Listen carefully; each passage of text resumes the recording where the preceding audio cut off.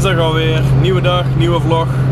Het eerste onderwerp waar ik het vandaag over wil hebben is eh, een onderwerp wat je vandaag ook geregeld op de radio voorbij hebt horen komen waarschijnlijk. Of op tv. Maar ik denk vooral op de radio. Het zijn de wet t-shirts van de brandweervrouwen in Australië. Als, op het moment dat je als brandweervrouw nat werd. En eh, nou dat is nog een groot risico natuurlijk bij. eh, dus daar was niet zo, waren niet zo heel erg blij mee. Iedereen heeft afgelopen week natuurlijk nieuws gevolgd over de entertainmentgroep van Marco Borsato, welke failliet is gegaan. En nu zijn ook zijn platinum platen te koop. Ik had een heel mooi linkje gevonden. Kan je langs in de zijbar kan je het terugvinden.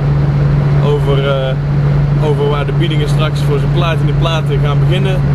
De startboden staan op 150 euro en eh, ik ben er snel bij, want ik denk dat die dingen aardig wat waard worden. 5 miljard tweets.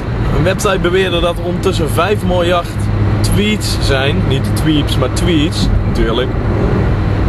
En eh, waarschijnlijk is het gewoon een stunt van ze, want eh, de enige die momenteel weet hoeveel tweets er zijn is Twitter. En anders heb je een heel mooi stukje software of hardware nodig om dat allemaal na te gaan tellen. Maar ik vond het wel het vermelden waard.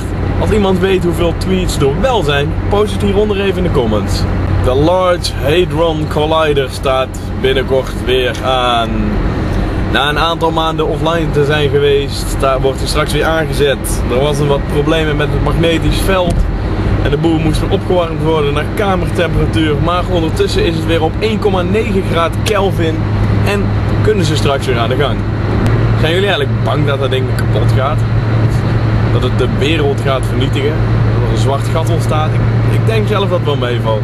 Het zal allemaal wel loslopen. Maar eh, hoe bang ben jij eigenlijk? En als laatste.